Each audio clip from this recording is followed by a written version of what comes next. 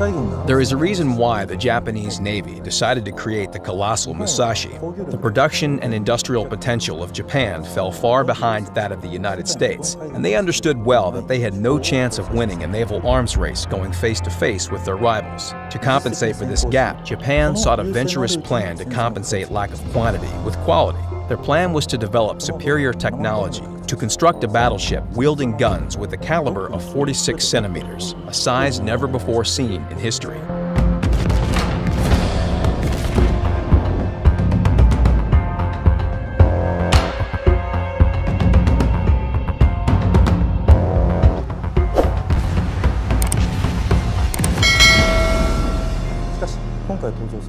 Battleship Musashi was designed to be the world's most powerful battleship, both in name and reality. The 46 centimeter gun mounted on the Musashi was nothing short of that in both firepower and range. Ironically, the Japanese Navy's dream of naval superiority through powerful battleships was shattered by none other than themselves.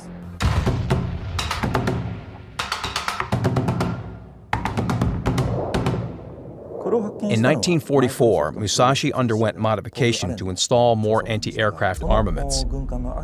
Secondary guns on both sides of the ship were dismounted to make space for equipping as much anti-aircraft guns as possible. You may recognize this design as the one seen on battleship Yamato in World of Warships.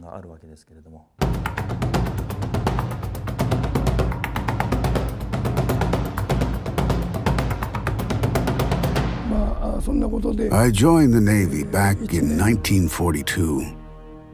Back then, everyone was expected to enroll in the military around the age of 20 and take part in the war. When I joined the Navy, I've heard rumors that the Japanese Navy had a colossal battleship in their disposition those even in the United States had not owned. Those colossuses was indeed rumors about the Yamato and Musashi. I was the only one of the graduates to be designated to the Musashi. And my assigned destination was to be a top secret. I was forbidden to inform any of my colleagues, nor my families. I've kept my silence and boarded my transport on Yokosuka to sail to the Truk Island.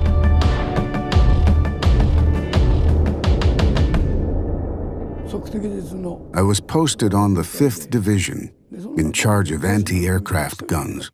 My duty was to assist the commander in directing the anti-aircraft armaments placed on the starboard side of the bridge. I learned to operate the range during my training, so I was appointed to this important role even in my young age.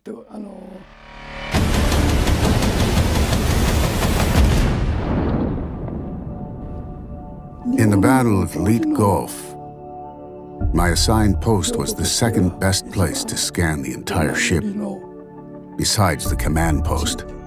But since I was in the dead center of the bridge, it felt as if all the enemy's attacks were heading towards me. It was utterly terrifying.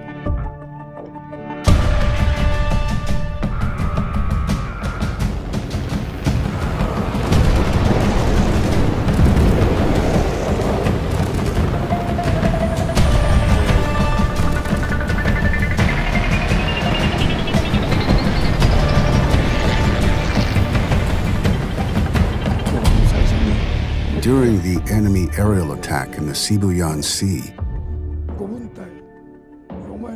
a bomb struck near the bridge and damaged the gun control device. Shortly after, a torpedo struck near the starboard side, right under my nose. I would assume this damage also cut off the auxiliary signal circuits. As a result, not a single command could be relayed to the anti-aircraft guns, where they had to be manually controlled individually.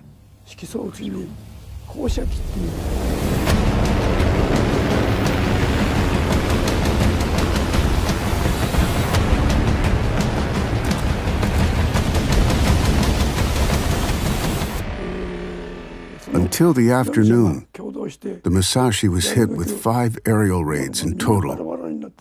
The first waves of incoming enemies were few, but I could feel the enemy focusing their fire on the Musashi as her damage began to stand out.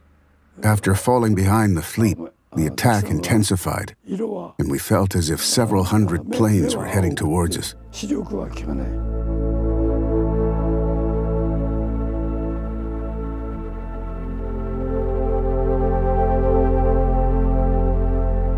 After being hit with the fifth raid, Musashi's portside bow was dipping in and out towards the water.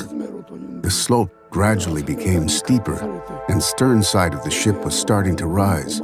We have tried to compensate the tip by latching off the port side anchor. No matter how hard we tried, the slant was getting worse.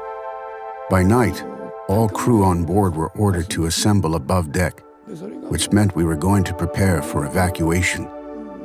By this time, Many survivors climbed out from inside the hull and gathered on the deck. They were shocked to see the Musashi's deck riddled with holes and the bridge in ruins.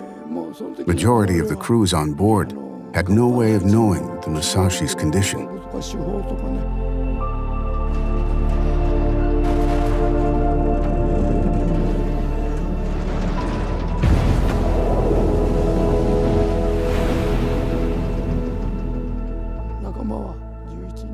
My senior officer, carrying a frightened young soldier, was the first to take the jump. Everyone else followed his lead. I was lucky enough to land on the water, but many of my comrades were not so fortunate. I've heard many were torn with the sharp edges of the shell holes. Later, I was rescued by the destroyer of Hamakaze's cutter boat. I have later learned that out of the 11 men in my squad, nine survived. My senior officer and the young soldier with him were deemed missing in action.